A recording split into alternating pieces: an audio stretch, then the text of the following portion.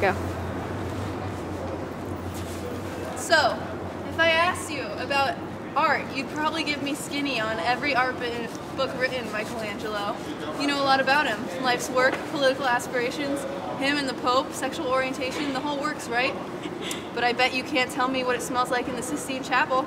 You've never, really, you've never actually stood there and looked up at that beautiful ceiling, seen that. If I asked you about women, you'd probably give me a syllabus of your personal favorites.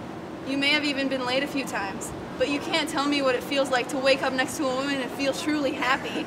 You're a tough kid. I asked you about war, and you probably uh, throw Shakespeare at me, right? Once more in the breach, dear friends, but you've never been near one.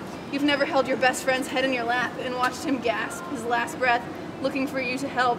And if I asked you about love, you probably would quote me a sonnet, but you've never looked at a woman and been totally vulnerable known someone could level you with her eyes, feeling like God put an angel on earth just for you.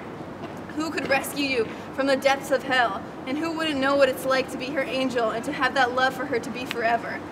Through anything, through cancer.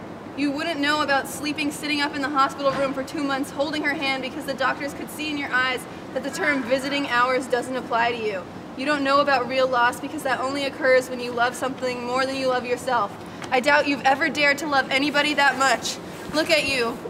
I don't see an intelligent, confident man. I see a cocky, scared, shitless kid. but you're a genius, Will. No one denies that. No one could possibly understand the depths of you. But you presume to know everything about me because you saw a painting of mine and you ripped my fucking life apart. You're an orphan, right? Do you, do you know the first thing about art? Your life has been how you feel, who you are, because I read Oliver Twist. Does that encapsulate you? Personally, I don't give a shit about all that, because you know what? I can't learn anything from you. I can't read in some fucking book unless you want to talk about you, who you are, and I'm fascinated. I'm in. But you don't want to do that, do you, Sport? You're terrified of what you might say. Your move, Chief. Can I see your shirt? Your scarf is in the way, and it's too dark out. So we're gonna move into the light with this video. you can't fucking see. oh my god! Okay. my shirt. okay, perfect.